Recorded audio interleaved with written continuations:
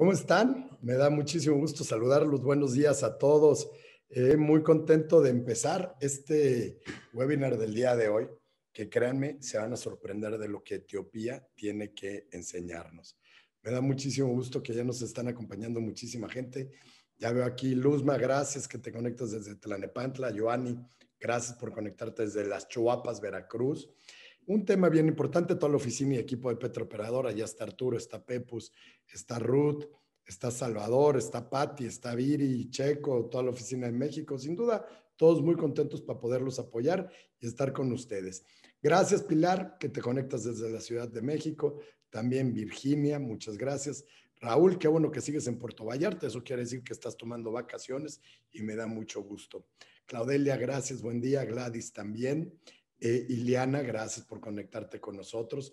Hoy estamos preparados para ver un destino que estoy convencido que les va a encantar y se van a sorprender. Saludo claramente, como todos los días, a todos los amigos que se conectan desde el Facebook de Petra, porque es bien importante también que esta plataforma nos ha funcionado a seguir trabajando. Pero bueno, muy contentos. Gracias, María, también por conectarte desde Celaya, Guanajuato, Alejandro desde Adit Iliana desde Mérida y a todos los que ustedes están el día de hoy aquí. Tenemos un webinar sorprendente. Eh, Andrea, John Quintero, Ofelia prepararon un viaje que se van a quedar con la boca abierta. Gracias por acompañarnos, Elizabeth de Viajes Intermex. Y si me permiten, voy a empezar con lo que les preparamos el día de hoy, porque es un webinar con una gran, gran presentación. Entonces van a ver por lo que les quiero empezar a platicar. Muy buenas tardes y gracias por acompañarnos en este ejercicio de capacitación para descubrir nuevos destinos y disfrutar recorriendo el mundo. A nombre de Petro Operadora, que caminamos junto a ustedes desde 1968, queremos agradecer, como siempre, su sintonía a lo largo de más de 200 webinars. Compra con tu agencia de viajes tu asesor experto. Somos la puerta de entrada para el reinicio del turismo. Por eso, créanme, ya estamos viajando.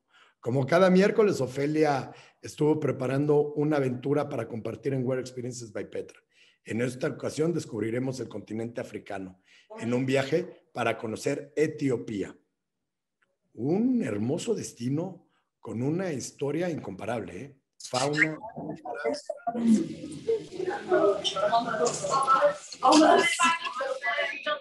¿Cómo están? Estoy haciendo mi introducción. Dame dos minutitos.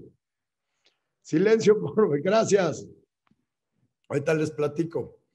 Les platico que ya Ofelia está en el avión, pero está lista para subirse a una historia extraordinaria, una historia, como se los platicamos, y es una sorpresa que vamos a tener para la próxima semana, pero eh, está volando hoy justamente a Kenia y Uganda. Entonces ya estamos viajando, ahí va en un fan, van algunos agentes de viajes con ella y justamente está en el aeropuerto de Nueva York preparándose, preparándose para subirse al avión. Qué bueno que todavía alcanzaste a conectarte con nosotros, Ofe. Me da mucho gusto saludarte y verte ya lista y con todos los procedimientos y protocolos necesarios para cuidarnos.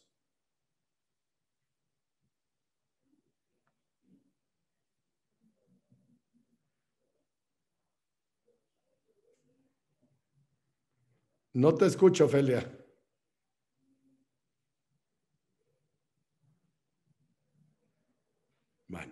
Voy a continuar eh, con esto.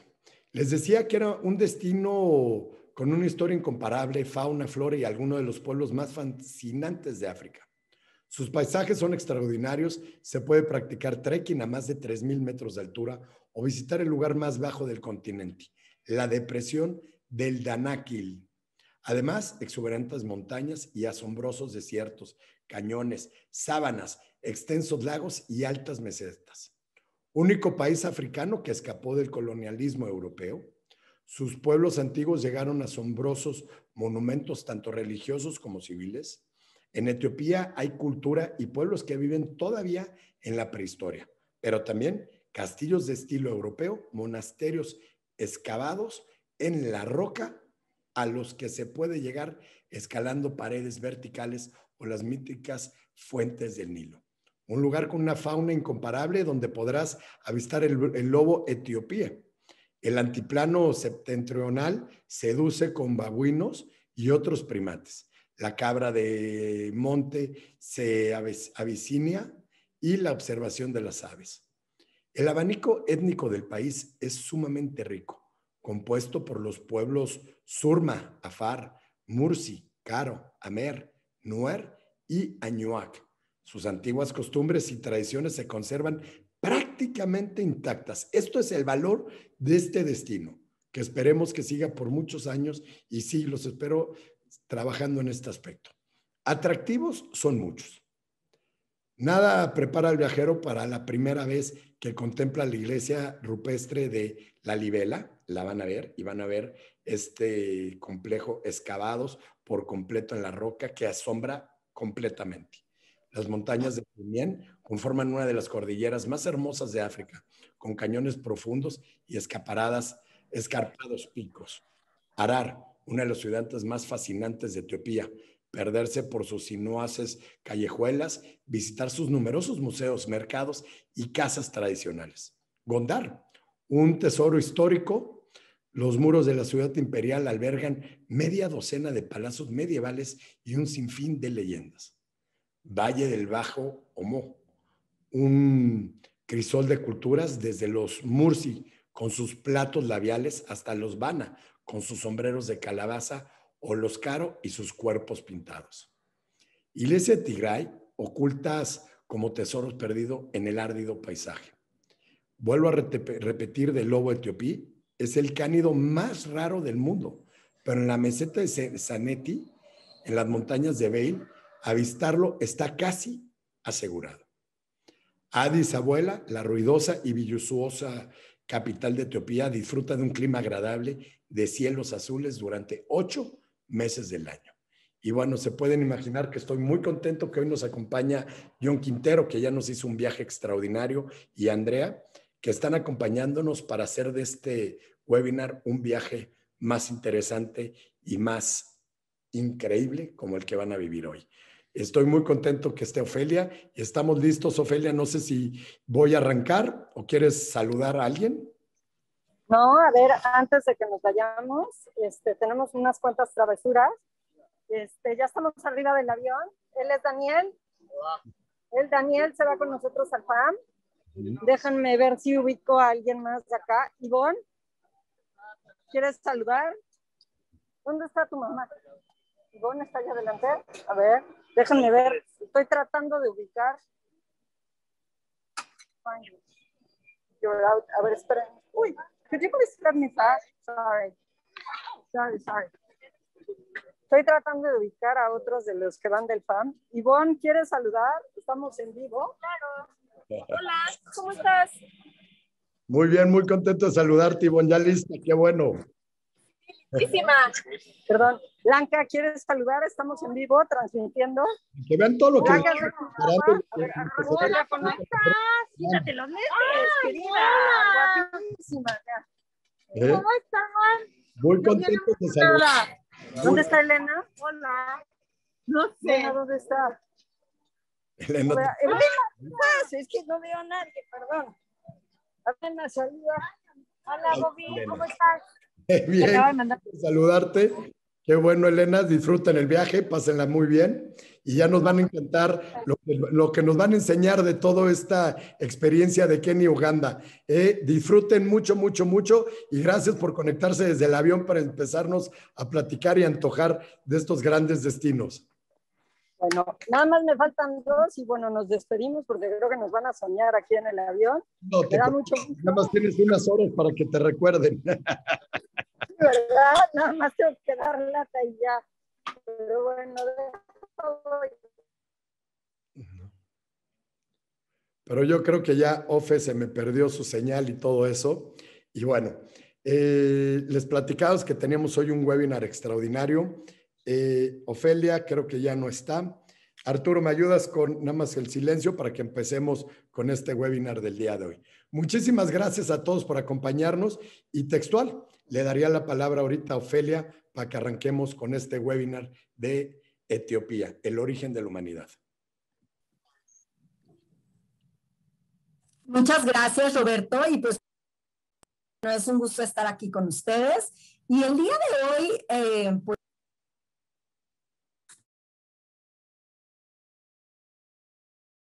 John Quintero con nosotros. También hoy nos va a presentar John Etiopía, el origen de la humanidad. Pero bueno, antes de cederle la palabra a John, vamos a platicar como siempre de la bandera de Etiopía. Esta bandera, el diseño fue aprobado el 31 de octubre de 1996 y les cuento que como ven tiene varios colores y varios significados. El verde representa en estos momentos la fertilidad, el amarillo la libertad religiosa, el rojo a aquellos que murieron por la integridad nacional.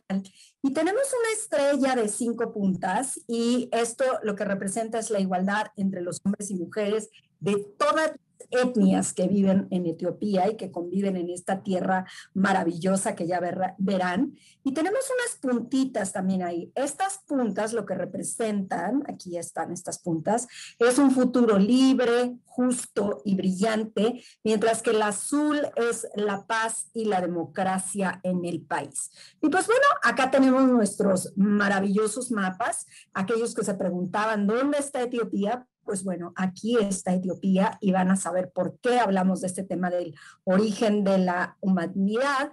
Y la capital está aquí, que es Addis Addis Abeba. Y, eh, y pues bueno, ah, ya John nos dará más detalles del tema de las ubicaciones de las grandes diferencias entre el sur y el norte que van a ver que son maravillosas. La moneda es el vir etíope, Addis Abeba, como decía, es la capital. Las clavijas, seguimos con estas clavijas redonditas, muy, em, que siempre tenemos muy presentes en Europa. Casi 99 millones de habitantes, una superficie de más de 1.100.000 kilómetros cuadrados y pues si bien el amarico es la lengua más hablada, hay más de 80 lenguas en Etiopía y pues van a ver que hay un fervor religioso maravilloso, espectacular. Vamos a platicar también de los coptos y pues bueno, el día de hoy tengo el gusto de estar con John nuevamente compartiendo y esta es la experiencia fotográfica con John Quintero y vamos a hacer esta Etiopía maravillosa. John, te dejo toda la cámara para poder eh, compartir.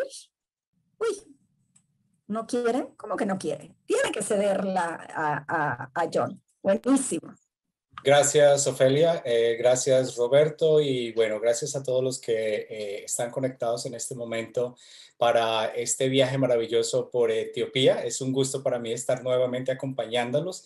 Gracias a Petra y su World Experiences por invitarme de nuevo. Espero poder entretenerlos por al menos por una hora y presentarles este maravilloso país, eh, Etiopía, que para mí es, se los digo sinceramente, el destino número uno eh, en términos no solamente de fotografía, sino de intercambio cultural. Yo amo Etiopía eh, desde el primer momento que fui a este país hace unos 10 años. Me enamoré completamente y de verdad que eh, adoro mucho estar allí. Además que se ha convertido como en uno de esos países en los cuales tengo tantos amigos que cuando estoy allí me siento casi como llegar a casa. Siento, eh, la gente es, es, es, es, muy calurosa, muy amable y para mí es siempre un gran orgullo hablar, hablar de este país. Bueno, gracias Ofelia por esta presentación que hiciste sobre eh, la bandera y sobre algunos detalles de este destino. La idea de esta expedición fotográfica que ya la he hecho en el pasado es que la podamos volver a retomar dentro de muy poco. Estamos solamente esperando poder darles las fechas y en el momento que eso sea posible, yo espero que ustedes me puedan acompañar. Entonces, quiero mostrarles nuevamente algo de los mapas, simplemente para que nos ubiquemos un poco dónde está este, este país. Y Etiopía no tiene costas sobre ninguno de los mares, pero sí tiene grandes montañas, tiene las, tiene, eh, eh, las montañas eh, más espectaculares, sobre todo en la parte del norte, y aunque uno cree que de pronto cuando le hablan de África, de pronto habla uno de tierras muy áridas, de calor, de algo desértico, en realidad Etiopía tiene zonas muy fértiles, muy verdes y tiene gran parte de zona montañosa donde las temperaturas pueden bajar bastante. Así que yo me llevé una gran sorpresa cuando fui por, primera vez porque esperaba que, me decían, sí, hace un poco de frío, pero nunca esperaba que fuera tan frío como tuve que pasarlo en algunas montañas. Etiopía está dividido en 10 regiones y durante nuestro, durante nuestro viaje vamos a recorrer gran parte de ellas, como es Oromia, la parte de eh, las del sur, donde está el Valle del Lomo. Eh, vamos a estar en la región de Ahmara, que es donde está La Libela, uno de nuestros destinos principales y en el norte del área de Tigray, donde vamos a ver lo que es la parte de Axum, el, el reinado de Axum, que es una historia allí bellísima también vamos a visitar parte de la zona de Afar, que es donde está la depresión más calurosa de la Tierra. Eh, los puntos verdes son parte de lo que, en lo que nosotros nos vamos a concentrar durante esta expedición y Addis Abeba tiene un eh, aeropuerto internacional, el aeropuerto Bole se llama, y eh, es relativamente está, está muy, muy en la ciudad, así que moverse del aeropuerto hacia la zona donde nos vamos a hospedar eh, mm, es relativamente muy cerca, no con tráfico nos podría tomar 30 minutos realmente. Casi toda la, mejor acomodación y los mejores hoteles están muy cerca al área del aeropuerto, entonces es relativamente fácil moverse allí. Addis Abeba eh, es una gran ciudad caótica como casi todas las ciudades del mundo y especialmente como las ciudades de, África que tiene, eh, eh, según el censo de, creo que fue del 2007, tenía como casi 3 millones de habitantes, pero yo estoy seguro que pasa de 6 en este momento. Tiene muchos habitantes, tiene grandes edificaciones y es un centro muy importante de negocios. La economía en Etiopía está creciendo a manera bastante elevada, bastante rápida en los últimos años y se considera uno de los países con una economía creciente, tal vez el país con la mejor economía creciente en este momento en África. Allí en, en, en, en Addis, donde empezamos nuestro viaje, eh, siempre lo que hago es que hacemos todo el transfer. Los pasajeros van llegando eh, en diferentes vuelos siempre, lógicamente, pero siempre tenemos quien lo recoja. Muchas, muchas de las veces estoy yo también en el aeropuerto recogiéndolos, llevándolos al hotel. Y lo que hacemos en Addis es algo eh, porque de pronto algunos de ustedes conocen y es que nos vamos a visitar el Museo Nacional de Etiopía. ¿Por qué el Museo Nacional de Etiopía? Esta expedición se llama Etiopía, origen de la humanidad, por una, particular, por, una, por una razón muy particular, y es que Etiopía es considerada la cuna de la humanidad. ¿Por qué razón? Porque en Etiopía está nuestra adorada abuela Lucy, que no tiene sino 3 millones de años. Entonces, Lucy son los restos eh, que existen y que están allí en el Museo Nacional de Etiopía y que justamente la fotografía que ustedes están viendo allí es de el arqueólogo que los encontró en el año 1974 que se llama Donald Johansson. Y los restos que encontraron de Lucy es de una mujer que no medía más, creo que de 1,30, era, era, era bastante, bastante corta, pero que nos da una gran idea de dónde provenimos nosotros. Entonces, Etiopía es realmente la cuna de nosotros.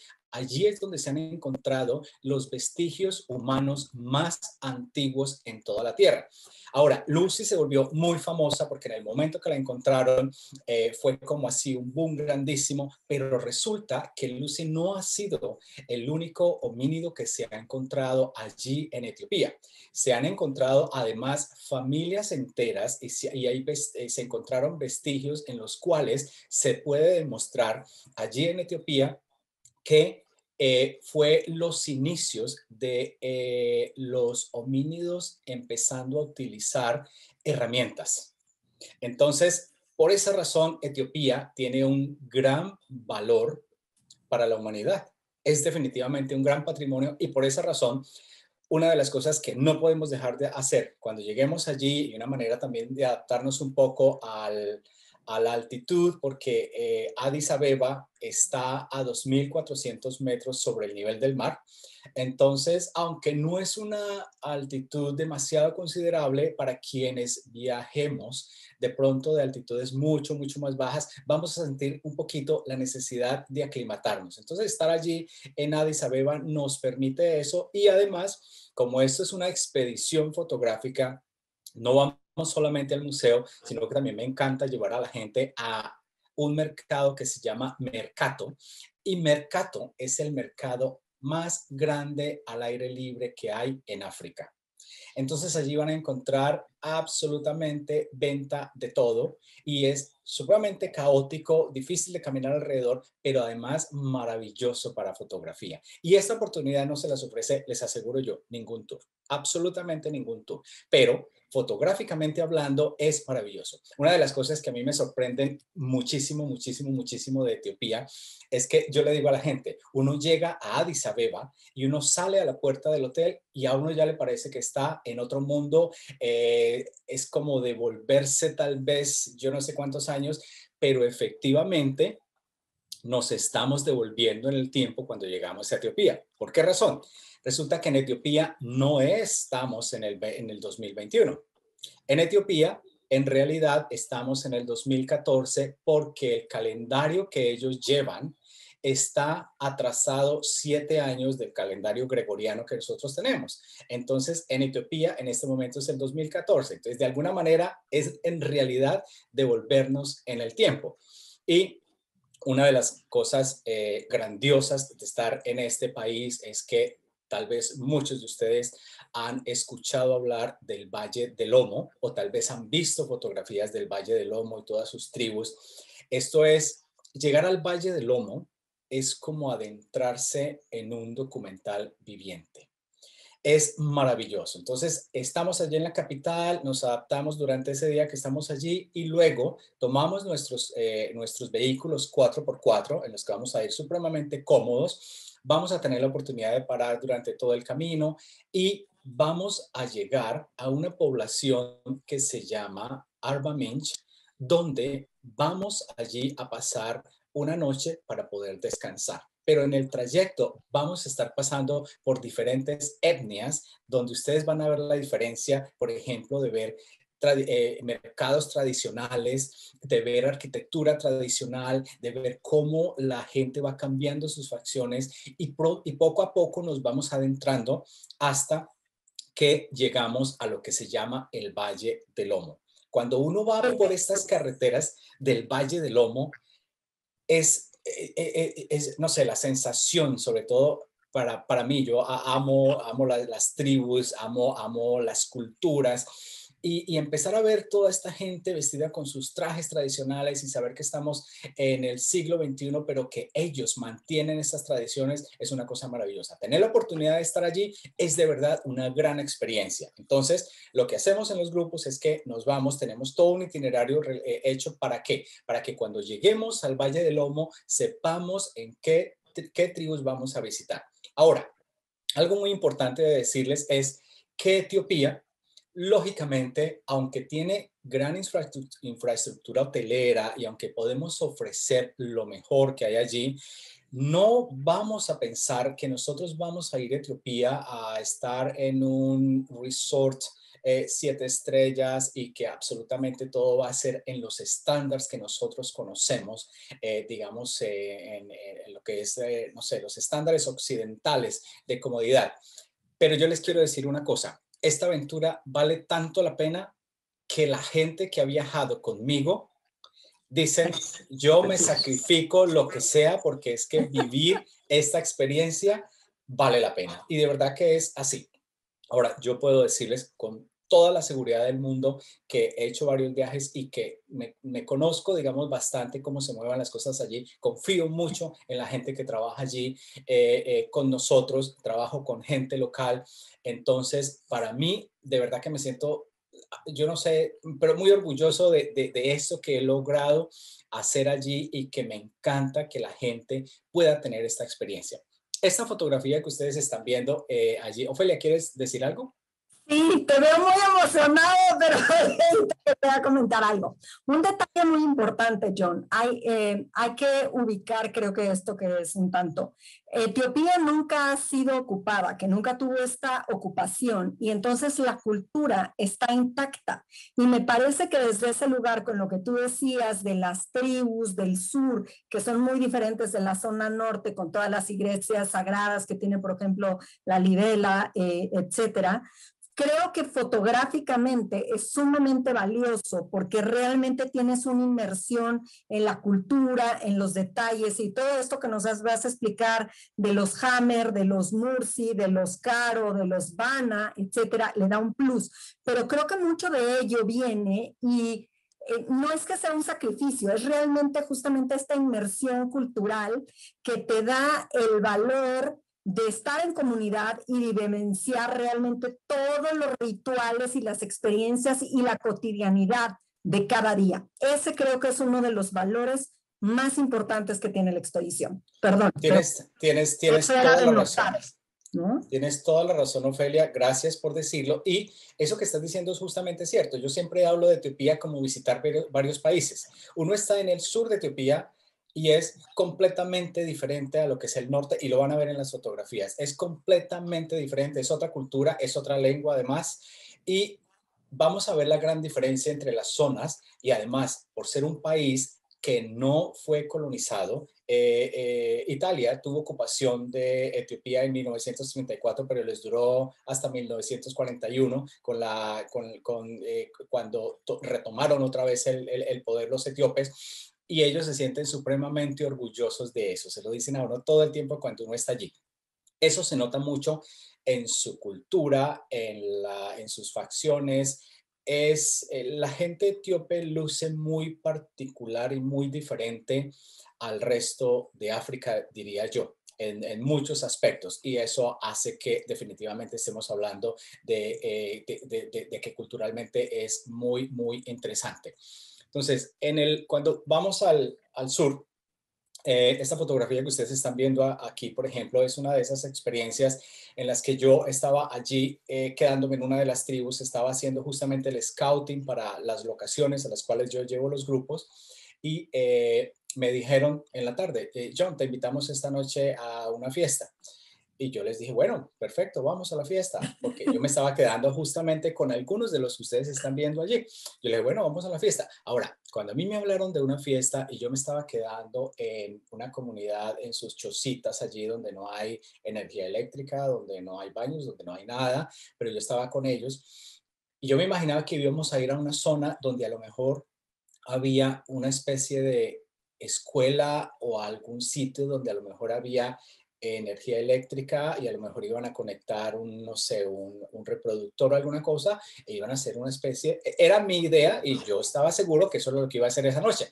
Bueno, pues en la noche me dijeron, ¿estás listo para la fiesta? Yo le dije, sí, claro que sí. Bueno, yo, mi cámara, todo, empezamos a caminar por unos maizales y yo escuchaba a la distancia el sonar como de unos tambores y unos cánticos y cada que me acercaba a mí se me iba erizando la piel de cómo se escuchaba esto y llegamos allí a una zona a, un descarpado en el medio de la nada, donde estaban todos estos jóvenes de la tribu Bana haciendo, era la tal fiesta, la fiesta era que ellos se reúnen a la luz de la luna y allí empiezan a bailar y hacer un cortejo entre hombres y mujeres. La luz que ustedes están viendo allí es una luz que yo llevaba porque siempre cargo mis luces y que afortunadamente la tenía porque de otra manera no hubiera logrado hacer ninguna foto porque no había cómo ver allí absolutamente nada, pero se escuchaba todo esto. Una experiencia maravillosa que se escuchaba más o menos así. Esto fue hecho luego con uno de los grupos en una de las excursiones.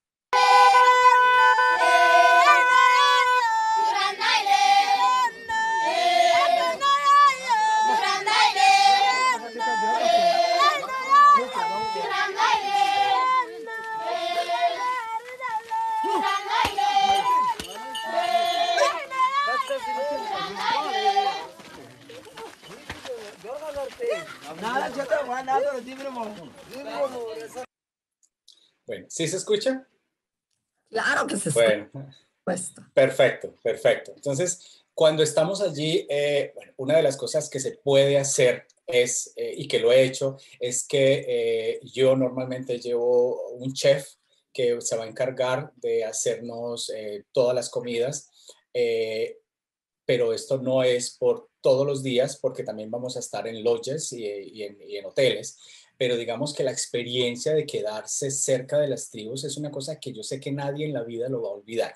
Entonces nosotros llevamos nuestras propias carpas, llevamos colchonetas, todo muy limpio, un estándar muy, muy bueno, llevamos todos nuestros eh, vehículos 4x4, estamos allí todo el tiempo y lógicamente todo esto se hace con el permiso de ellos, ellos saben que estamos allí, tenemos una persona que nos hace el desayuno, la cena y estar allí disfrutando de todas estas cosas, créanme que no solamente para un fotógrafo, sino para cualquier persona, yo creo que es, es, es una, una, una, cosa bastante interesante de ver. La persona que ustedes ven allí es un guerrero de la tribu Caro y este río que ustedes eh, ven allí es el río o, eh, y eh, esta tribu Caro se es muy particular porque ellos se pintan el, el, cuerpo y el rostro con tiza blanca, sí que es una, una, una piedra que extraen de un área cercana y ellos se decoran y así los ve uno. La persona que ustedes están viendo allí es un guerrero porque tiene en la cabeza una diadema que es hecha en arcilla y es, es una cosa que está pegada a su cuero cabelludo es, una, es, es, como, que te, como que te hacen una pieza de arcilla que te la pegan allí y se te queda allí pegada y te pone esta pluma de avestruz, pero que lo que demuestra es que es una persona que en algún momento eh, eh, fue capaz de derribar o de, o de matar a un animal grande. ¿De acuerdo? es un rango de autoridad, ¿no? Es, un rango de autoridad. de autoridad y es permanente. Sí, sí. John, ¿no se supone que los caros ya quedan muy poquitos hasta donde yo recuerdo? De los caros ya no hay muchos caros, ¿no? Exactamente, hay muy pocos. Eh, yo eh, creería, hasta hace aproximadamente dos años hablábamos de 2000, pero yo creo que ese número viene cada vez disminuyendo por muchas razones muchos de ellos, sobre todo los jóvenes, ¿qué hacen? Ellos quieren irse a las ciudades, a los pueblos, emigrar, estudiar, pierden totalmente eh, su cultura y las, las, las eh, comunidades que quedan allí cada vez son más pocas, pero de las más interesantes definitivamente del Valle del Lomo, yo creería que para mí están Los Caro, es una de las más lindas, sobre todo porque cómo se decoran todo, eh, cómo utilizan eh, los objetos que tienen allí alrededor para ponerse en este tipo de cosas. La mujer que ustedes ven a la izquierda es Caro y se, se caracteriza por el cabello que se hacen unos pequeños como bolitas y para, eh, para mantenerlo lo que hacen es que mezclan eh, la grasa animal de las cabras con eh, tierra, con terracota y por eso tiene este color. La mujer de la derecha es una niña de la tribu Arbore y la tribu Arbore se caracteriza porque las mujeres se rasuran el cabello. Entonces, para cubrirse del sol, siempre se ponen estas túnicas encima. Además que me parece que es eh, una de las tribus más hermosas. Eh, tanto hombres como mujeres tienen facciones muy lindas, muy, muy, muy interesantes y, se, y tienen un tono de piel no sé, como más oscuro, más, más cobrizo, que resalta muchísimo con todas estas joyas que usan. Eh, esto es en el, en el, en el río Omo y es un, un, miembro de la tribu Dasanes que está pasando hacia el otro lado. Si un lado está Omorate y a un lado está una de las comunidades, los Dasanes también es otra de esas comunidades que se caracterizan por tener, eh, se hacen ah. este tipo de pelucas. Entonces ellos lo que hacen es que van al pueblo y se recorren el pueblo buscando las tapitas de los refrescos y se hacen este tipo de pelucas. Pero no es solamente eso lo que hacen, sino que también se hacen unos panachos espectaculares. Una de las zonas hermosísimas. Dime, Ofelia. algo que quería decir que creo que es sumamente importante es que las fotos que están viendo de las etnias son auténticas, que no es que las personas se han vestido así para tú los fotografiaras. Eso me parece que es sumamente importante. Tienen que saber que es la manera auténtica del día a día, esta vestimenta y esta manera de portar estas joyas, estas o estas pelucas, perdón, eh, son la cotidianidad pero que al mismo tiempo es un privilegio el verlo porque, como bien decías, en un tour eh, tradicional no es lo que se destaca. Esto es propio de una expedición. Yo diría que esa es la diferencia entre un tour y una expedición que es un viaje especializado, ¿no? Definitivamente. Ahora, eh, el, turismo en el Valle del Lomo, digamos que cada vez es mayor, van muchos más, más visitantes pero resulta que en el tour normal te llevan a Turmi, te llevan para que veas los mercados y tú estás allí en una especie de lo que llamamos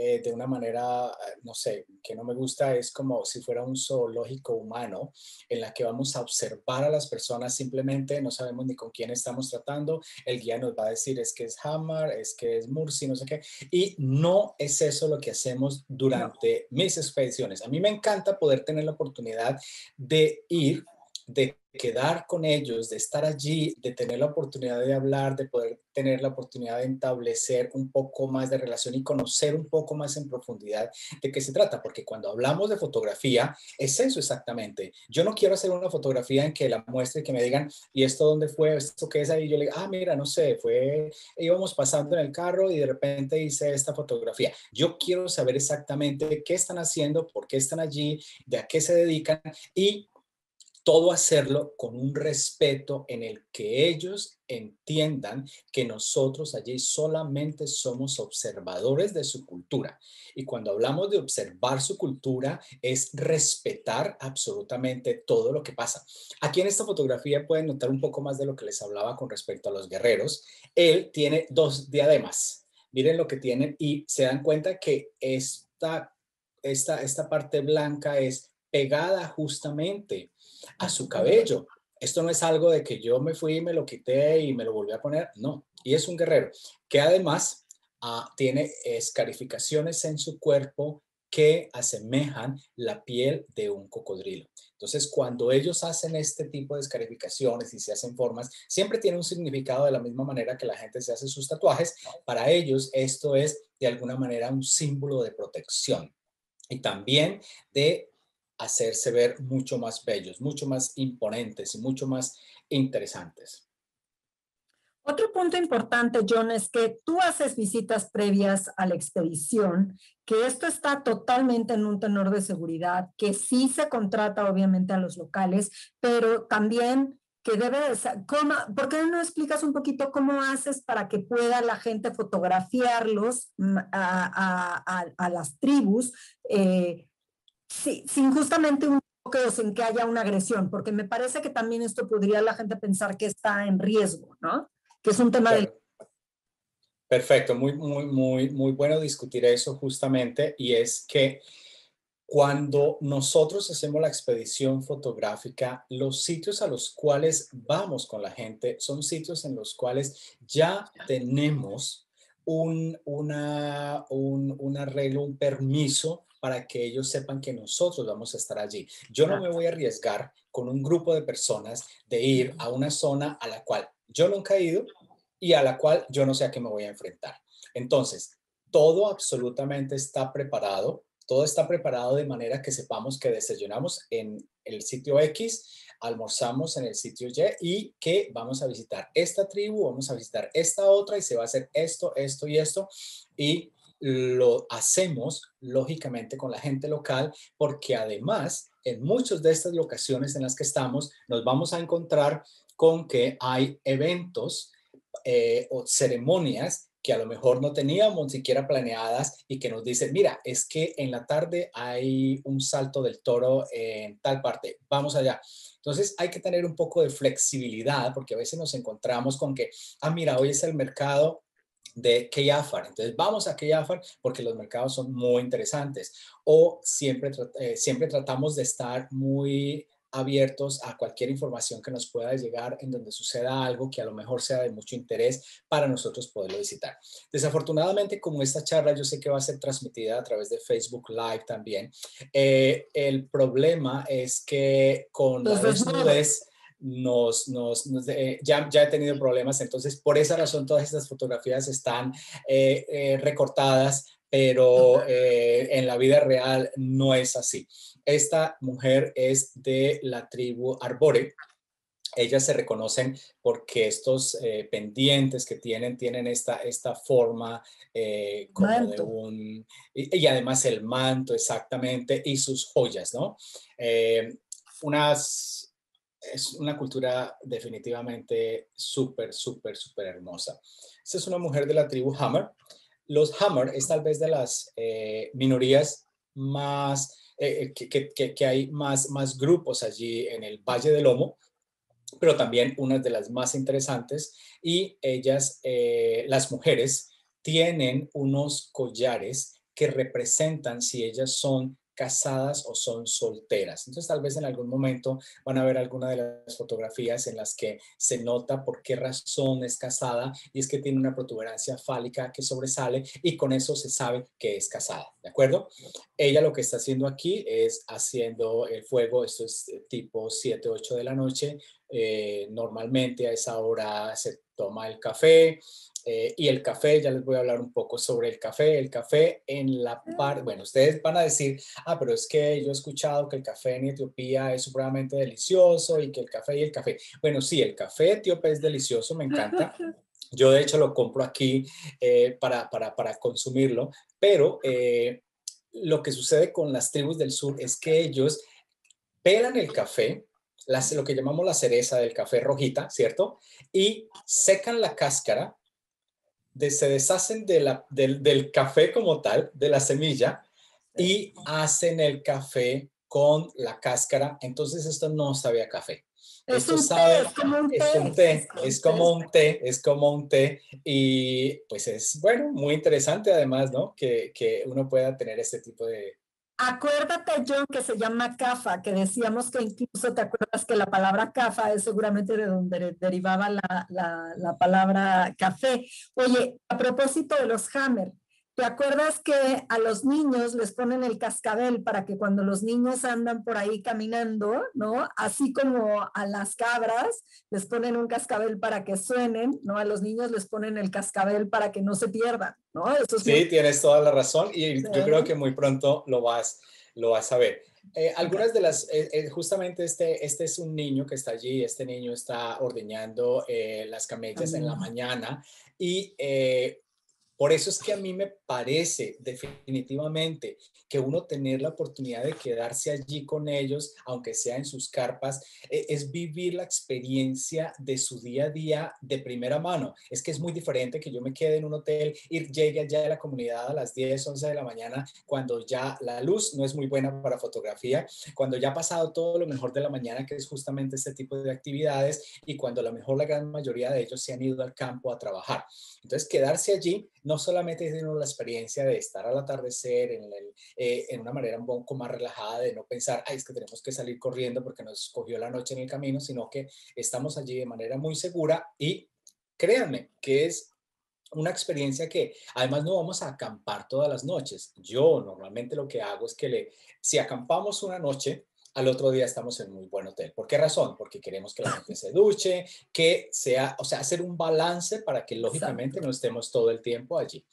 Eh, ¿Por qué no nos comentas de las edades de los participantes también o del tema? Bueno, ya, ya comentaste hace un rato que se lleva un chef también para que justo cuando no estás en las zonas de hotelería se pueda cocinar, que eso es algo de, pero ¿qué come? ¿Por qué no les explicas qué se come en Etiopía durante los viajes y el tema de las edades de los participantes? Y otra cosa que luego nos preguntan es si pueden ir niños. Eso creo que también es importante.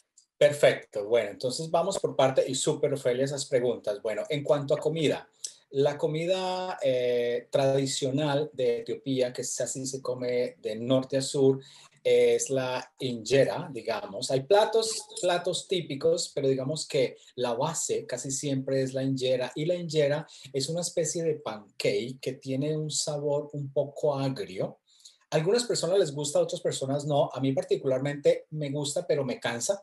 Y es muy normal porque cuando nosotros no estamos acostumbrados a una comida y viajamos por cualquier país, para ustedes que han viajado, ustedes se dan cuenta que uno puede que le guste algo y probarlo un ratico y rico, pero ya cuando te lo tienes que comer al desayuno, al almuerzo y a la cena, ya uno no quiere verlo, ¿verdad? Sí, no, ya no. Entonces, Etiopía yo creo que tiene una de las, de las dietas eh, más variadas de África, tiene comida muy deliciosa, pero que vuelvo y digo, a uno de pronto lo cansa un poco. Por esa razón, en los viajes que hacemos con las tribus en el sur, tenemos la oportunidad de tener un, un, chef que lógicamente no nos va a preparar lo que vamos a comer todos los días, eh, o no todos los días, digamos, en otros tiempos, sino que nos va a hacer comida a la que nosotros estamos un poco más acostumbrados, ¿de acuerdo?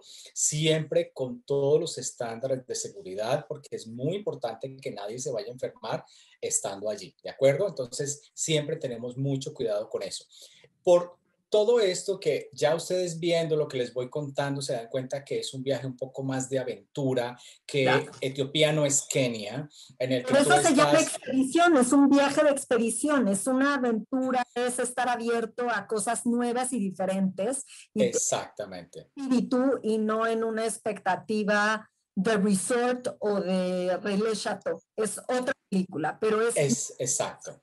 Exactamente, exactamente. Aquí lo que estamos viviendo es una gran aventura, pero yo les digo una cosa, eh, Etiopía no es un país, como muchos en África, para mochilear y para yo irme a a decir, no es que me voy solo y voy a ver qué transporte local pasa. Yo he hecho los viajes en Etiopía que ustedes se puedan imaginar. Lo he hecho con grupos, lo he hecho solo, lo he hecho sin tener nada planeado porque estoy haciendo logística y créanme que me he tenido que quedar a veces dos días en un solo sitio esperando a ver qué transporte puede pasar para que me pueda llevar a mi próximo destino.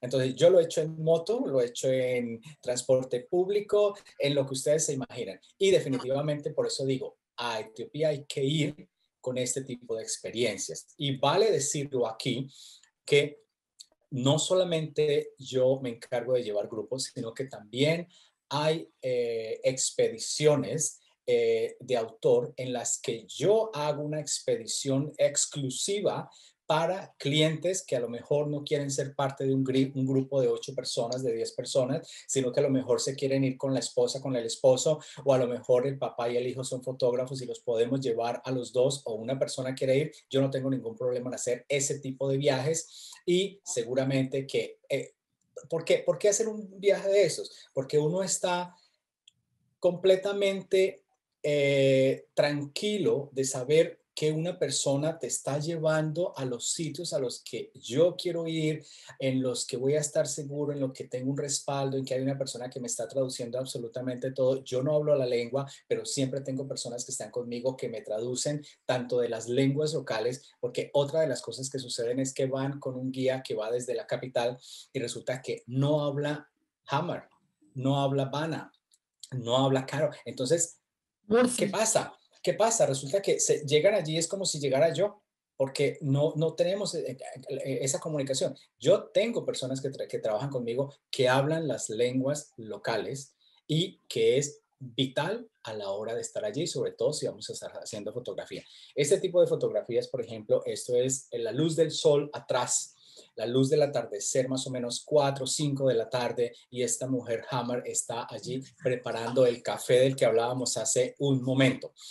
Eh, acabando de responder tus preguntas, Ofelia. Los niños. Por, eso, por eso considero que llevar niños eh, que no sean de, eh, que, sean menores de 14 años es un poco tedioso para ellos y sobre todo que puede, pueden demorar un poco todo porque hasta que el, niño no tenga una visión un poco de lo que está viviendo y por qué razón y un entendimiento, eh, es un poco complicado. Entonces, eh, normalmente yo diría que niños menores de 15 años es, es, es mejor no, no, llevarlos. Ese es un viaje para, para más adultos, ¿de acuerdo? Ahora, en cuanto a edades, yo también he llevado allí personas muy adultas. Hay caminatas cortas realmente, caminatas cortas, pero hay trayectos que a veces son un poco más eh, tediosos, es, se convierte a veces en un poquito más extremante, pero no imposibles. Esto no es que nos vamos a cargar una maleta al hombro y vamos a tener que caminar por dos horas, créanme que no, eso no va a suceder, ¿de acuerdo? Sí.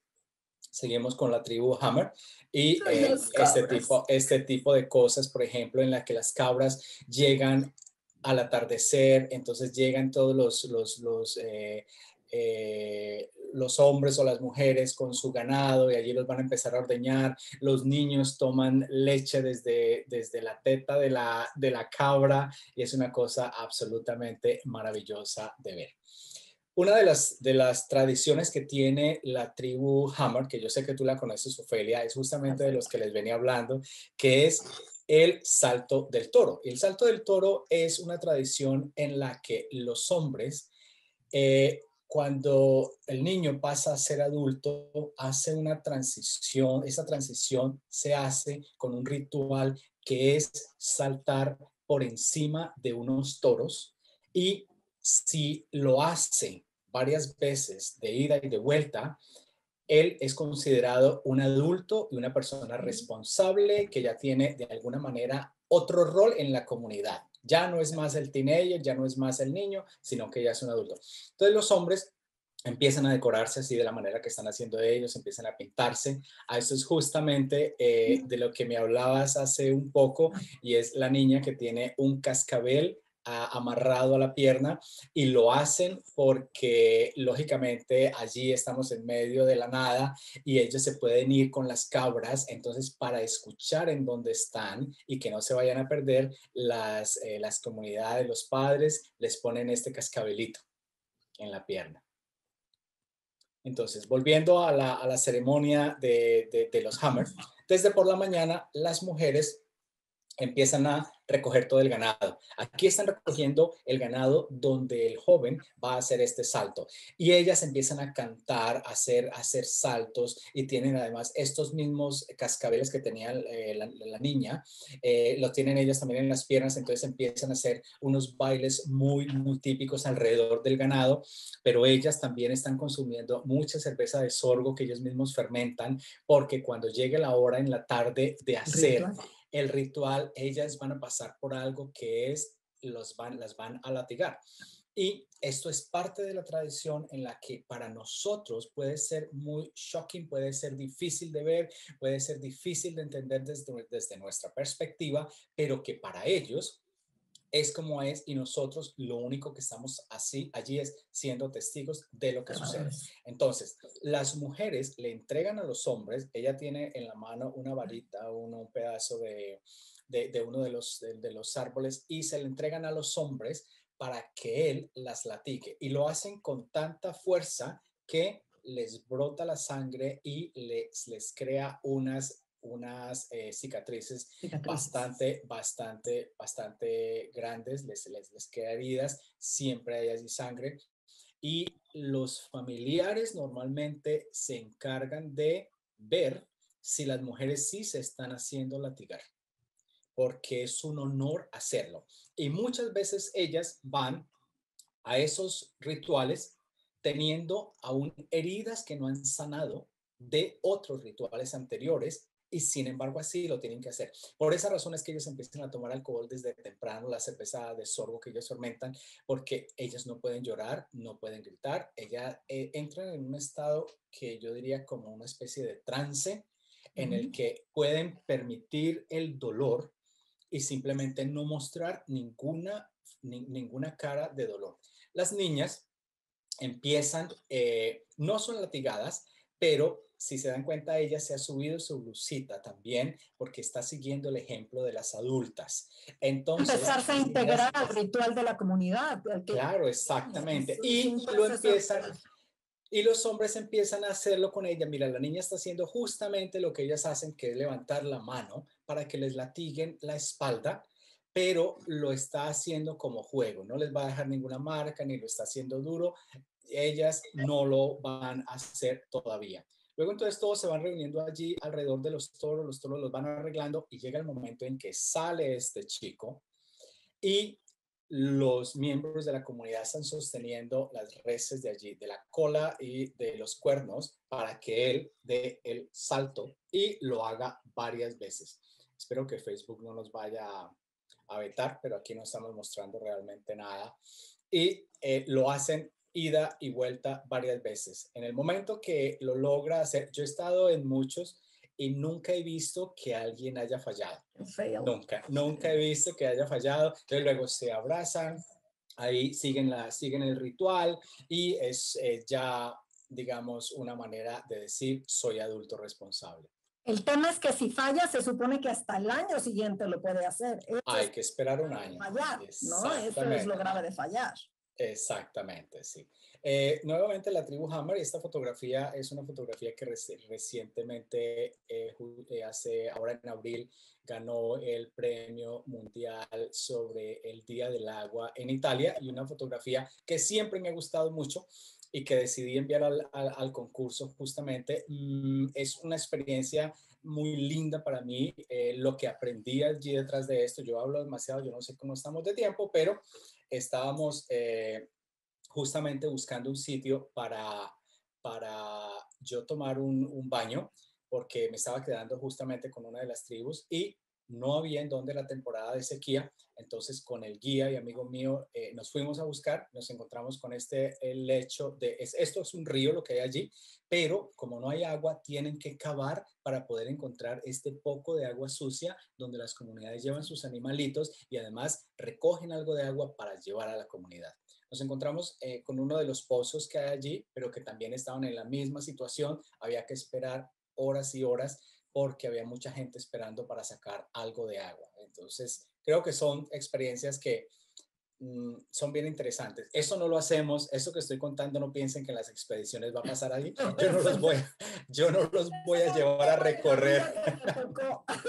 Yo no voy a recorrer el Valle de Lomo buscando agua para darles. Nosotros siempre llevamos en nuestros 4x4 suficiente agua eh, pura para que tengamos y eh, las, ya les había dicho que el quedarnos de pronto acampando puede ser una o dos noches no más, pero ni siquiera son seguidas, o sea que ustedes no van a pasar por estas penurias que me ha tocado a mí. Un poco más de fotografías de las tribus. Ay, los, eh, los cuernos de jabalí, que eso es muy importante, igual que los platos en las mujeres, y eso es maravilloso. Exactamente, y estos son los Mursi. Entonces, este guerrero que estamos viendo aquí es un guerrero Mursi.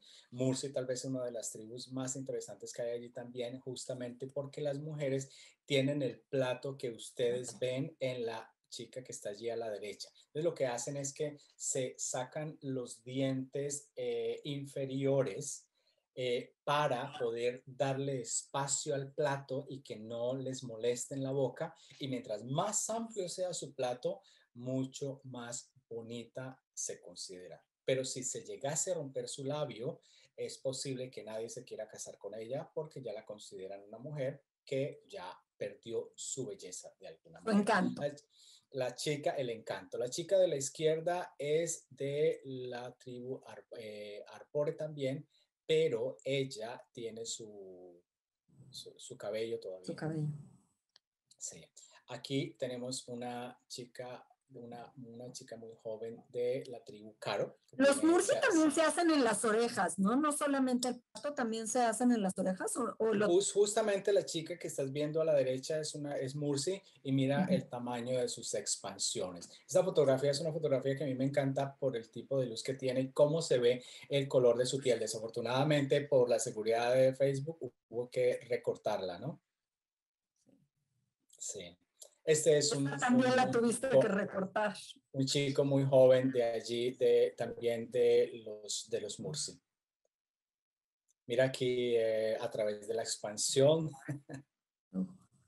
Esa es... Eh, estos, estas eh, mujeres son Hammer, las dos son de las mujeres Hammer, y ellas utilizan estas especies de, es una especie de decorado como si fuera un cinturón muy grande que se ponen y que tienen estas conchitas que eh, eh, son muy, muy utilizadas allí. No, lógicamente no las consiguen, no se, no se producen allí en, en, en, Etiopía, pero ellas eh, las, las consiguen, alguien se las lleva.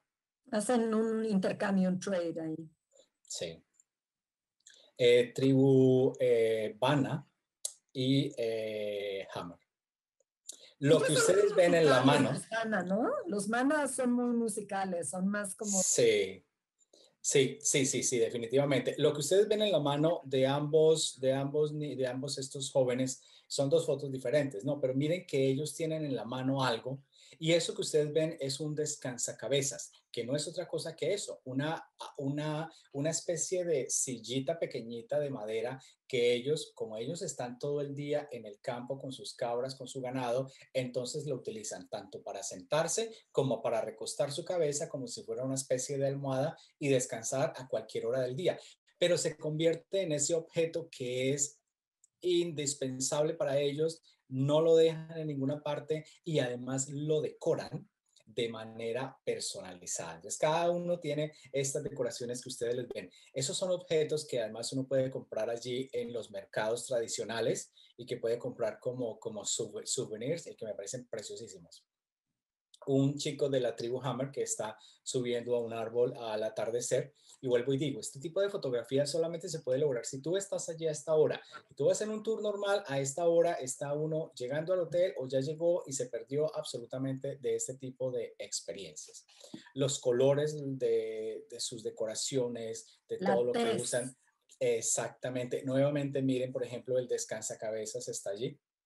Y eh, lo que tiene el chico de la derecha en la boca es el cepillo de dientes. Entonces ellos están todo el día con su cepillo de dientes en la boca, que no es otra cosa que un palito de un árbol especial que al frotarlo en sus dientes eh, se deshace, digamos, y eh, les mantiene su dentadura muy blanca.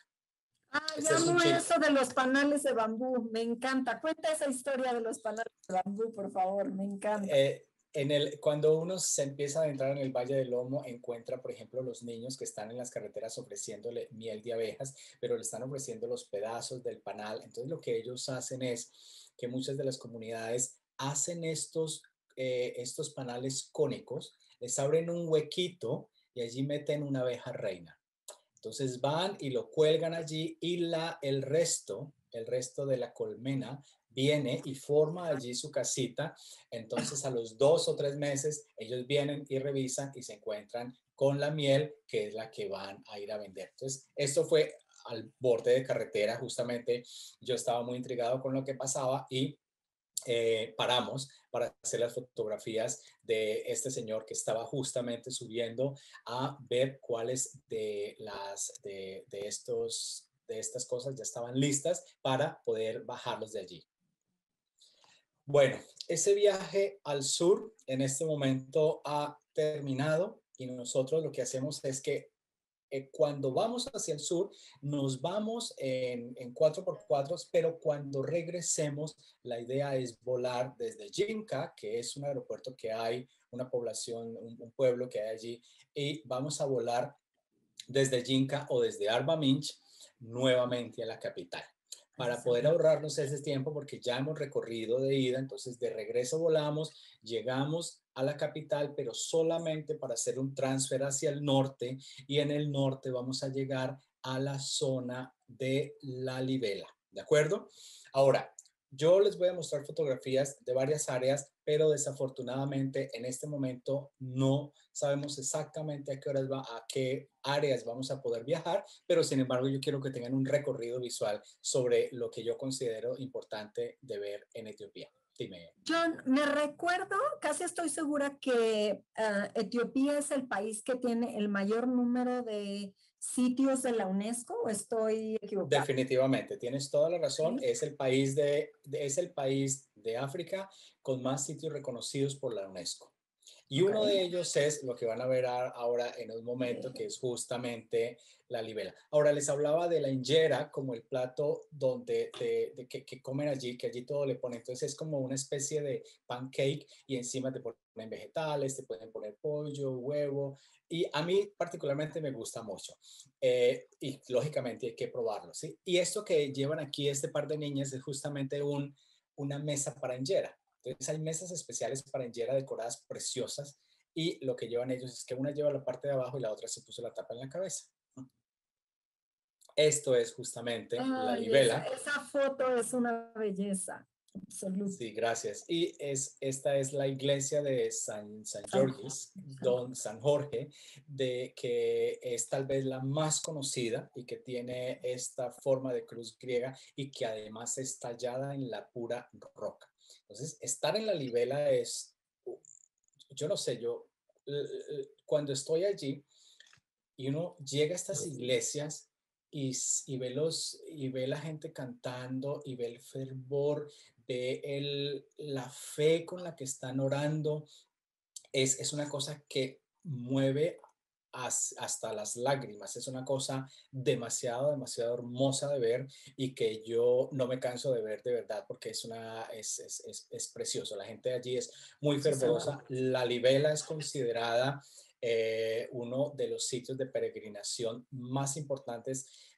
La Libela y Axum son los dos sitios de peregrinación más importantes que hay en Etiopía. Y siempre vas a encontrar allí mucha gente que está visitando eh, estas, estas iglesias y se encuentra uno con cosas como estas, que es un, un, un bautismo y cuando uno ve toda la gente vestida de blanco con unas Biblias antiquísimas, uno, se, yo siento que es como que de verdad uno se está devolviendo en el pasado, como que está en un, no sé, en un, en un pasaje de la Biblia, es una cosa muy, muy, muy interesante. Es mi favorita, esa es mi foto favorita, porque es la luz, la cruz, y, toda esta parte de que ven a un sacerdote y de inmediato piden una bendición y besar la cruz. Y en la libela, acuérdate que están los frescos que son como desde el siglo XII. No sé si también se puedan catalogar como iconostasios, como en otros lados, pero la verdad es que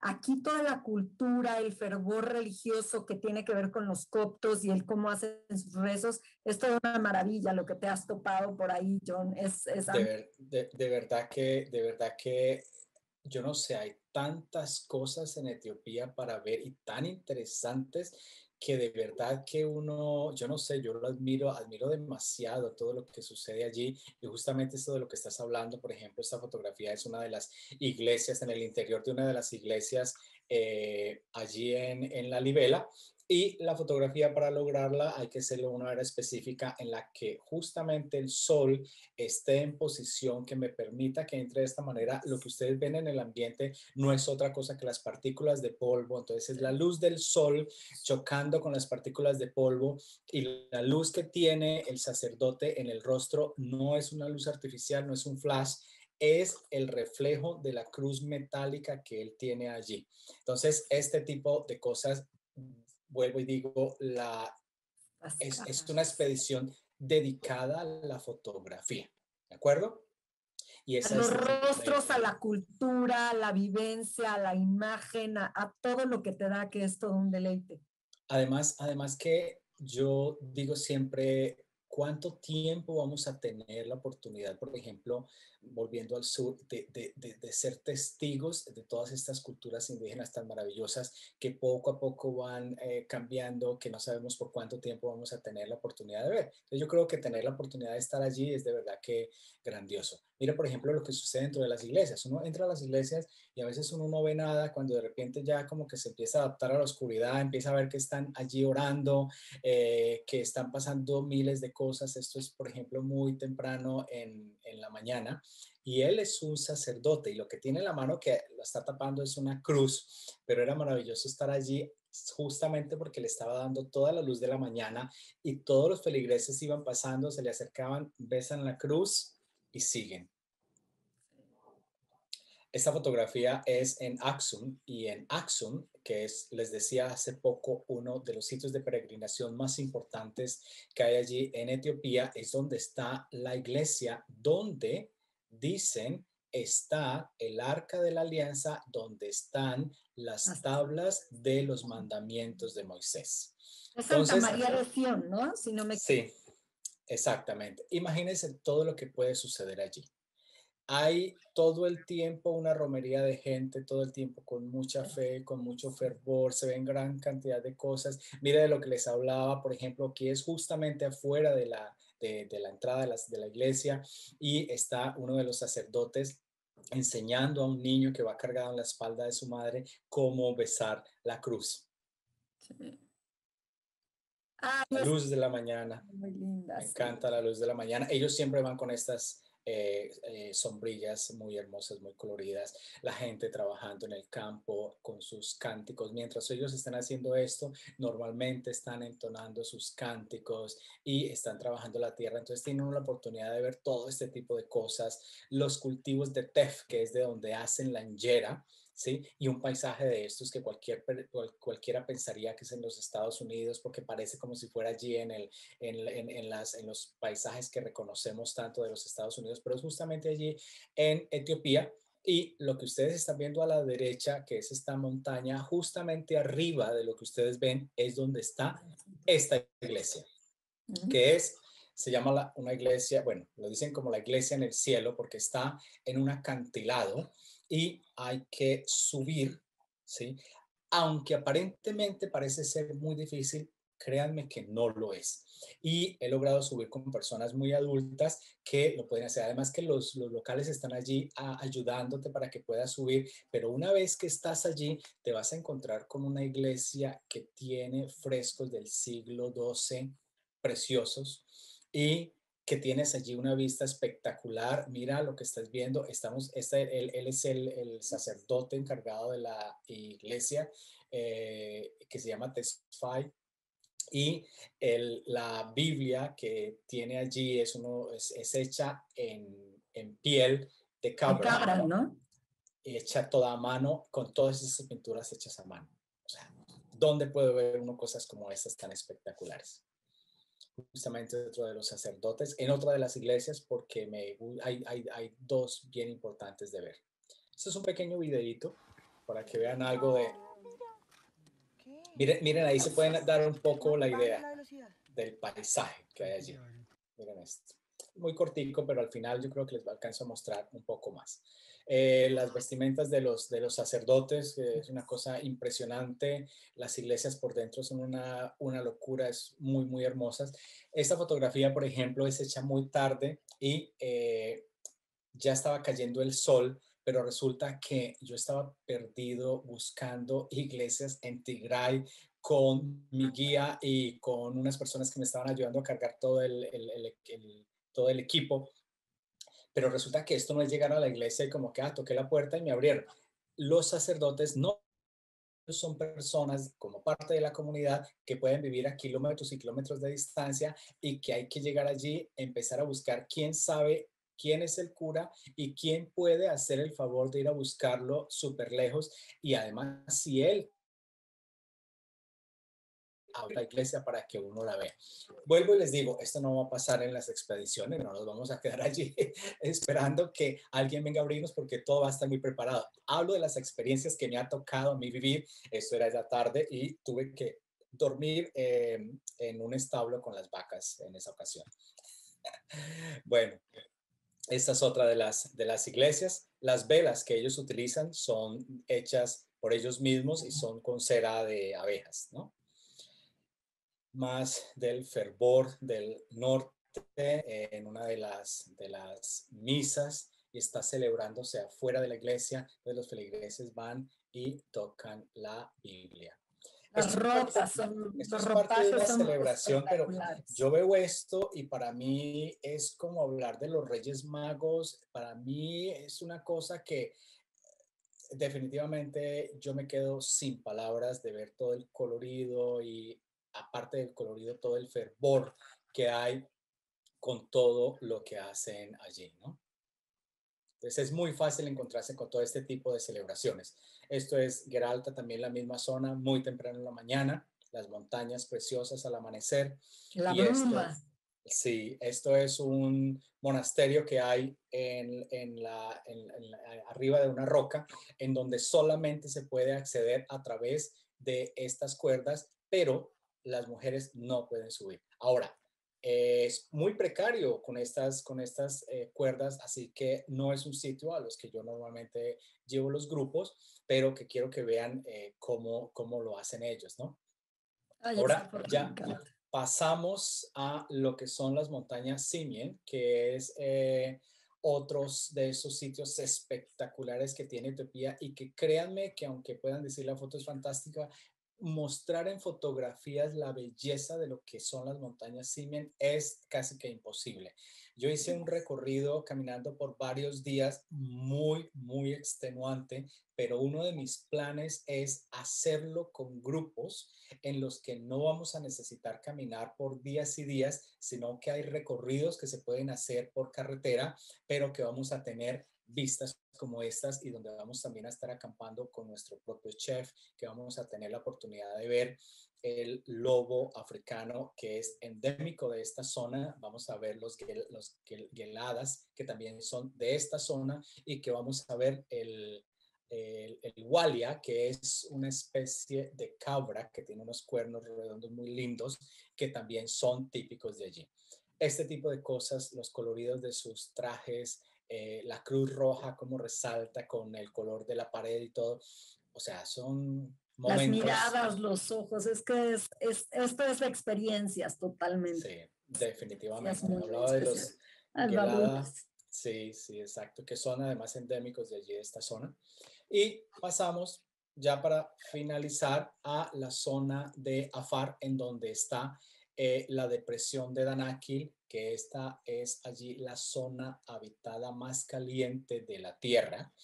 La temperatura promedio, aunque uno dice la más caliente, la temperatura promedio son 35 grados, pero lógicamente porque en temporada, digamos, de noviembre a febrero, baja mucho la temperatura, pero allí en junio y julio allí no va nadie porque las temperaturas son de 45 y se han registrado creo que hasta de 50, pero allí el paisaje es alucinante. Eso es estar en otro planeta. Pueden ver lo que, lo que hay allí, eso es completamente natural. Hay volcanes que tienen todas estas, que están todo el tiempo eh, en actividad y que tienen eh, esta cantidad de colores por las, la composición que tiene la Tierra. Miren esto. La parte sulfúrica que tiene el agua y la Tierra es lo que le da esos tonos, justamente. Una cosa preciosa, preciosa, preciosa. Además, esto eh, hace millones de años fue un mar, entonces tiene mucha sal y allí se extrae sal. Entonces ve uno caravanas y caravanas de camellos que están justamente llevando la sal. Es un sitio que a pesar de que uno dice que es muy caliente, en realidad no lo es tanto si uno sabe cuándo ir.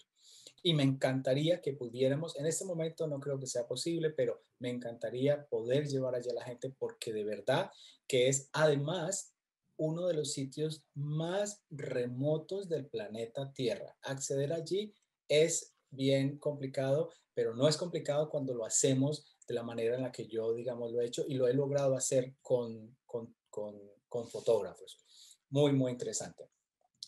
Eh, una de las cosas, unas ventajas de, de, viajar con fotógrafos es justamente poderse levantar en la mañana cuando un tour normal no te levanta a las 5 de la mañana, pero uno tiene la oportunidad de ver este tipo de cosas, la atmósfera, el polvo, capturar este tipo de fotografías. La gente sale de los hoteles en los tours normales cuando ya está, cuando ya han desayunado. Nosotros normalmente regresamos al hotel cuando la gente apenas está saliendo. Regresas a desayunar después de el la expedición de la mañana. exactamente, exactamente. Tiene uno tiempo de descansar siempre en los, durante el día y recargarse para volver a salir en la tarde. Esto es la zona este. Están narrando al camello, ¿no? Están ah, sí, le están, lo están marcando, lo están marcando. Sí, y, y, esto es en la zona de Harare o Harar, que es en el este del país eh, cerca a la frontera con Djibouti y aquí hay otra cultura completamente diferente. Ellos, casi, todo, casi toda la población es musulmana, pero se encuentra uno en la calle mujeres con estos trajes preciosos, divinos, que no los ve en ninguna otra parte del país. Entonces, justamente en Harar. Me encantaría poder volver y esto no son amaestrados, es que hay una carnicería, entonces los halcones van para que les den algo de carne. Entonces ellos les dan en la mano y se la llevan. lo que les decía, esto no se puede lograr al mediodía, esto es a las 6 de la mañana.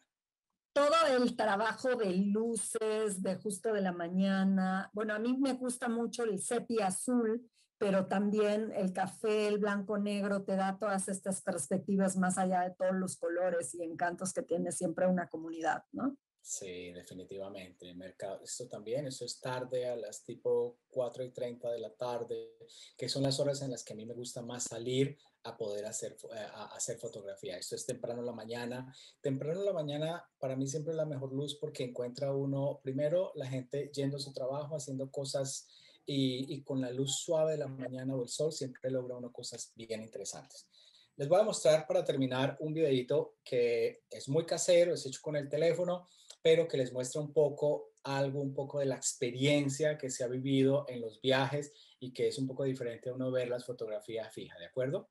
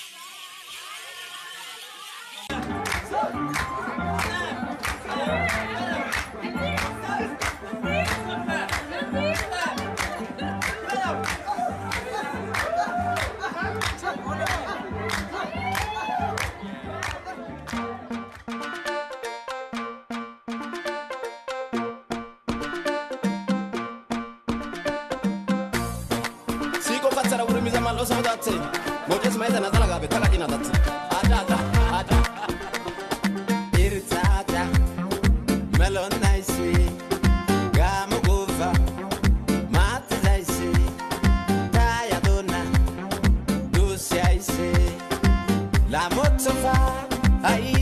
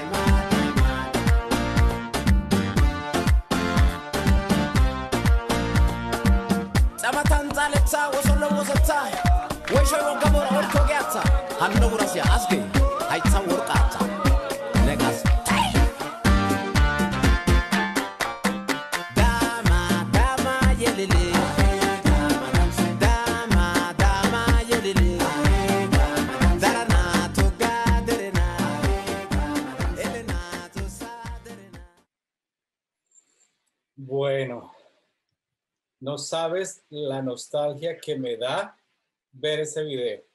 Bueno, A pero ver, me puedo imaginar. antes porque que otra hay que cosa- recordar que verlo y sentirlo es volverlo a vivir. Entonces, seguramente John te volvió a mandar hasta allá, a ese viaje que viviste con esta ilusión. Y obviamente, como nos los platicaste, me pareció sorprendente, ¿no crees, Ofelia? Sí, claro que sí, pero bueno, antes que otra cosa, John, te quiero dar las gracias por compartir con nosotros por este tiempo, porque siempre las expediciones son maravillosas y bueno, eh, pues es importante que también sepan que con World Experiences by Petra pueden hacer este tipo de expediciones, que son viajes muy especializados para cierto tipo de clientes, pero que realmente merece la pena y siempre con otros ojos, con ojos fotográficos. Recuerden que cuando se hacen las expediciones con John hay un- una preasesoría, el viaje y una post-asesoría. Eso es muy importante para que lo consideren, ¿no? Pero bueno. Totalmente, totalmente. Y, y agradecerles, obviamente, cómo llevaron la reunión tú y, y Ofelia y John fue increíble. Pero también, como les decía hace rato, aquí tengo a Andrea, que la conozco hace tiempo y me da mucho gusto también que, que nos acompañe el día de hoy. Y platícanos en tus experiencias, Andrea, ¿cómo ves Etiopía? O sea, de- es un lugar mágico en todos los sentidos. Totalmente, Roberto. Bueno, y y primero que nada, muchas gracias por esta oportunidad de estar aquí con ustedes el día de hoy. Gracias, John, por esa maravillosa presentación. O sea, de verdad que te transporta, ¿no, Ofelia? Parece que por un momento estuviéramos allí, Eh, en ese lugar tan maravilloso, en fin. Eh, gracias, John, gracias, Ofelia también.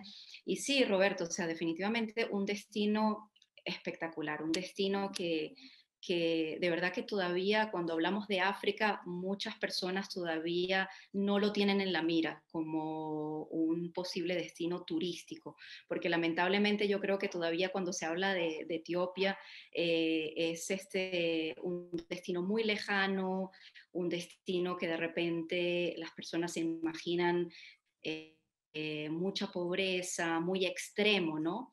Entonces yo creo que definitivamente es un destino que, que espero que por medio también de esta charla con John eh, llamemos la atención porque es, es, es un destino mágico, es un destino poco explorado, es una joya por ser descubierta eh, y, y, bueno, este, está allí esperando a, nuestros... Eh, a clientes, este, turistas, para que vengan a conocerlo, ¿verdad? Estoy totalmente de acuerdo. Recordar es volver a vivir. Así decía un comercial aquí en México. Claro, totalmente. Recordar es volver a vivir. ¿Y sabes qué me brincó? Y ahí sí me dejaste, pero me dejaste muy sorprendido. Me dejaste muy sorprendido por el tema religioso, lo fuerte y apegado que lo tiene el país. La importancia, sabemos que la religión es muy importante, pero la importancia que le dan y cómo lo, nos los enseñabas en sus diferentes imágenes, me sorprendió. Me sorprendió la naturaleza. ¿En qué aspecto? Lo verde del país. Ya lo comentabas que eran escenarios que podías pensar que estabas en otro país y totalmente de acuerdo. O sea, son escenarios de otro mundo, de otro país y eso está en África y está en Etiopía. Y, y bien importante el mapa que puso Ofelia, el mapa que pone John, porque vemos que pues está muy cerca. O sea, perdón, Etiopía está muy en el centro, muy bien ubicado, tiene de los lugares. Me queda claro que hay mucha gente que quiere descubrir África en muchos sentidos y es enorme como lo ha platicado Ofelia en sus diferentes pláticas cuando hablamos de África dice que cuántos 16 veces México, ¿no? 16 veces México, entendamos que en este tema, cuando hablamos de África, pues sí, son 16 veces México. Imagínense lo grande y extenso que hay. Este es un destino, John, que me lo dejaste anotado ya en mi, en mi memoria y sin duda son de los destinos que como a ti te mueve y te mueve verlo nuevamente. Imagínate a los que lo vemos por primera vez, obviamente no vivimos la experiencia, me pareció increíble y te digo, esos fueron de los temas que me movió mucho, ver la naturaleza, la gente también, cómo hay gente buena en todo el mundo y siempre una sonrisa te mata por todo, ¿no? Definitivamente, definitivamente, no me canso de, de hablar de este hermoso destino, de este bello país y de verdad que se los quiero ofrecer y quiero que podamos hacer estos viajes porque créanme que es una experiencia que vale muchísimo, muchísimo la pena. Como experiencia cultural, como son tantas cosas que uno vive allí que créanme que cuando hablamos de África casi siempre la gente eh, habla de Kenia, de los safaris, porque cuando hablamos de África siempre te relacionamos con, con los grandes animales, pero Etiopía es otra cosa. Bueno, en Etiopía también se pueden hacer safaris, pero Etiopía no está conocido por los safaris, sino por todo este tipo de culturas tan maravillosas y yo no sé hasta cuándo vamos a poder estar allí siendo testigos de eso, como les decía. Así que espero que pronto podamos viajar. De nuevo, gracias por esta gran invitación. De nuevo, de verdad que me encanta estar aquí. Me siento feliz hablando con Ofelia, contigo, Roberto. Gracias, Andrea, por hacer parte hoy de la charla y, cualquier eh, cosa, por favor, cualquier pregunta, siempre estoy disponible para que ustedes, todos los que están allí conectados, me escriban y que podamos hablar, ¿de acuerdo? A ver, una de las últimas cosas, y me vuelvo contigo, Andrea, ¿cuál sería tu sitio más representativo en Etiopía? Que me digas, Roberto, esto Oye, es, es, difícil, Roberto. Yo creo que definitivamente. La vida no es fácil. Sí. La vida no es fácil. Sí, no, no es fácil. Mira, yo, yo diría. lugares mágicos con tanto que ofrecer, siendo el país africano con más patrimonios de la humanidad, me queda claro que no es fácil. Pero sé que complico de repente un poco la vida. No, está bien. Mira, yo creo que definitivamente lo que se destaca de, Etiopía es lo que decías tú, toda esta parte religiosa. Entonces yo creo que la libela eh, definitivamente es un lugar, it's a must, ¿no? Es, es el lugar a ser visitado, eh, punto de partida ¿no? de Etiopía. Pero definitivamente también toda la parte del sur que John nos contó, todo, toda esa mezcla de grupos étnicos. Yo he viajado, gracias a Dios, bastante por África y, de verdad que me quedo impactada al ver eh, todos estos grupos étnicos, todas estas, estas tradiciones que todavía se preservan aquí en este país, eh, muy diferente de muchos otros países turísticos del África, porque por supuesto hay otros países de África que aún son poco turísticos, poco explorados, que tal vez preservan todo esto, pero como Etiopía, en estos momentos hay pocos. Así que por eso yo lo recomendaría. Te agradezco muchísimo, John nos haces viajar con tu fotografía, cómo ser experto en lentes, ver y, me encanta la luz y luego sacas los videos y todos los que van contigo, camarones, toma. A ver, qué bueno, qué bueno que se metan en ese sentido de disfrutar así el viaje. El viaje siempre, siempre se va a recordar y recuérdense, ya las tendencias del mundo dicen, el viaje se experimenta antes porque lo planeas, se experimenta cuando lo vives y se experimenta cuando lo recuerdas y lo compartes. Hoy nos compartiste un viaje extraordinario, John, y te quiero agradecer este tiempo esta plática. John desde Londres, como les platico, se conecta con nosotros ahorita en horarios muy extremos, pero bueno, muy contento de haberte tenido aquí, John. Muchísimas gracias y no sé si te quieres despedir. Claro que sí. Y yo creo que es el momento perfecto para decirle a todos los que están conectados y los que quieran viajar con nosotros que no es necesario ser un fotógrafo y mucho menos un fotógrafo profesional. Esas son experiencias para cualquier persona que simplemente quiera aprender a hacer mejores fotografías durante sus viajes, que quiera aprender a manejar su cámara o para el fotógrafo profesional que quiere tener la oportunidad de ir a todas estas locaciones y lograr que hagamos una expedición saliendo a las horas en las que la luz es la mejor y visitando todo de una manera planeada para que sea alrededor de la fotografía. Yo creo que nos hemos extendido demasiado, pero gracias de nuevo, Roberto, gracias, Ofelia, gracias, Andrea, eh, y espero volver a acompañarlos nuevamente en alguna de las experiencias virtuales, ¿de acuerdo? Muchísimas gracias. Eh, Andrea, no sé si te quieres despedir. Claro que sí, Roberto. Bueno, a todas los, las personas que nos están escuchando el día de hoy, muchísimas gracias por estar aquí con nosotros.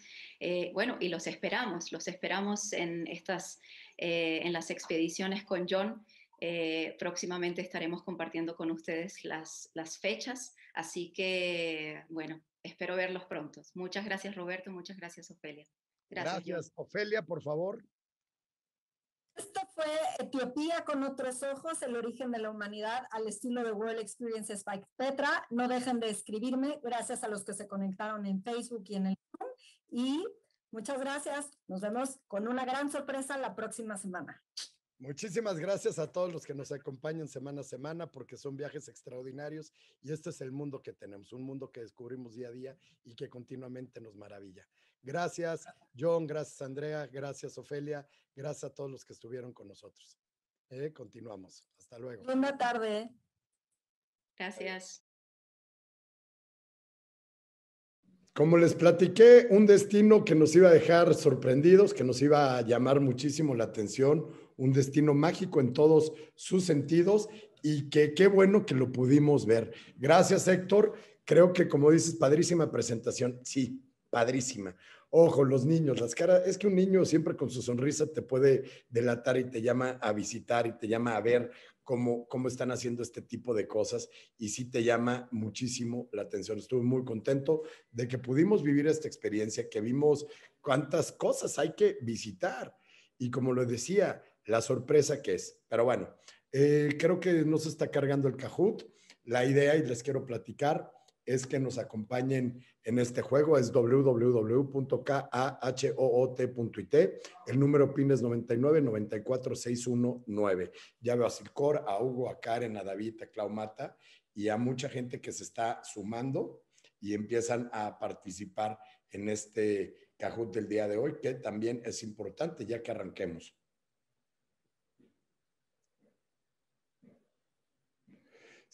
Bueno, una de las cosas que vimos, pues una presentación muy larga, una presentación muy larga, pero también era un país que merecía una presentación de esto. Sé que normalmente acabamos en hora y media, hoy nos vamos a comer varios minutos de más, pero es parte del encanto de lo que estamos haciendo. Ya veo aquí a Claudia, a Lourdes, a Marlopos, Ángeles, gracias por acompañarnos y a ver qué tal nos ponemos y nos va en estos, en estos cajuts que siempre son importantes. Oigan, yo les quiero decir que me da mucho gusto y con gran, con gran motivación se los digo que ya veo mucha gente que está empezando a retomar importantes. Hace rato compartí en mis redes sociales personales que ya tuve una reunión con, el, con Visit Florida, porque ya están muy importantes, ya están muy metidos en, en volver a retomar, en volver a trabajar. Y eso me da mucho gusto. Eso quiere decir que ya estamos, ya estamos y ahí vamos. ¿No? Entonces, sigamos, sigamos, sigamos, sigamos y, y empecemos a planear viajes extraordinarios. Empecemos a planear viajes extraordinarios donde claramente el límite es nuestra imaginación. Hemos tenido más de 200 webinars solamente de Petra, más los que ha hecho Pepus de Travax, más los que hemos hecho de Work Experiences by Petra, más los que hemos hecho de Navitur by Petra, etcétera, etcétera, etcétera, que se vuelven temas bien importantes y que nos han ayudado mucho a seguir potencializando todo lo que hacemos y todo lo que buscamos. Entonces, hoy estamos viajando. Vuelvo a decir, por favor, todos los que están aquí conectados, pídanos el folleto, el, brochure que, que hizo Pepus, mi hermano, de todos los descuentos, de todas las oportunidades que hay hoy de viajar. El mundo está abriéndose. Ya estoy viendo reservaciones muy importantes para Europa en muchos sentidos, en circuitos, en viajes a la medida. Muchas cosas están saliendo. Estoy viendo cruceros y se lo repito día a día, los cruceros que tenemos de Alaska también han sido muy importantes y siguen potencializando. Entonces, ahí vamos y vamos a arrancar con este cajut del día de hoy para ya no quitarnos más tiempo. Arturo, por favor, ayúdame.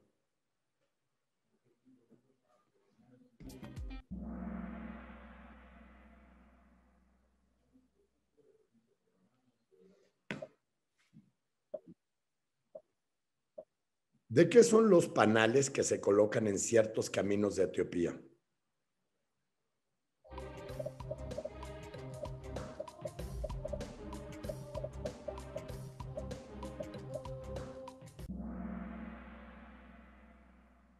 Perfecto, muchas gracias. Siguiente.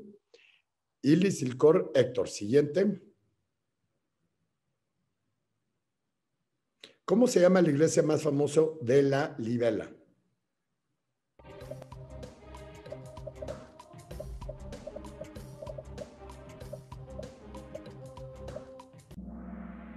Muy bien, siguiente. Héctor Mar Silcor, siguiente. Etiopía es el país en, en, África con mayor número de sitios del UNESCO, ¿verdadero o falso?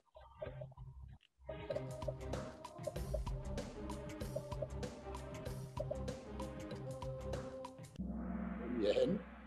Siguiente.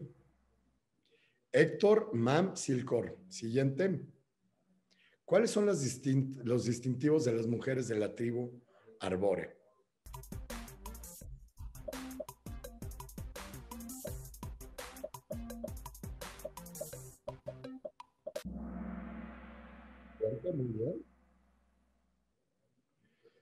Héctor Silcor Patti. Siguiente. ¿Cuántos meses tiene un año en Etiopía?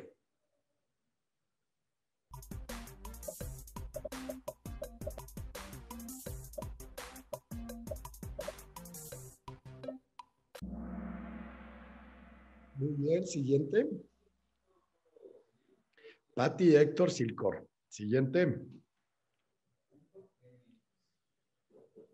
¿En qué ciudad se ubica la iglesia de Santa María de Sion?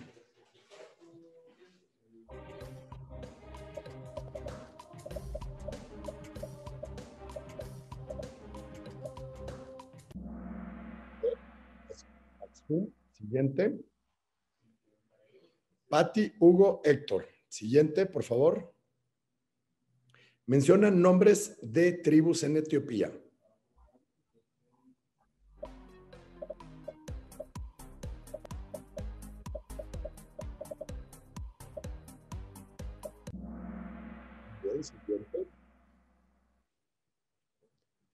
Patti Silcor Héctor. Siguiente. Las pelucas que hacen en la tribu Dasanash, las mujeres pueden estar hechas con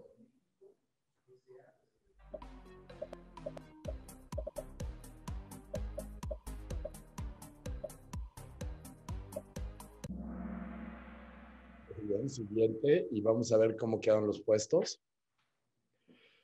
Felicito muchísimo a tercer lugar Silcor, Héctor Chiapa segundo, Pati L primero. Muchísimas gracias a todos los que nos acompañaron. Un webinar más de Work Experiences by PETA, Etiopía, un destino origen de la humanidad que me pareció extraordinario, muy bello.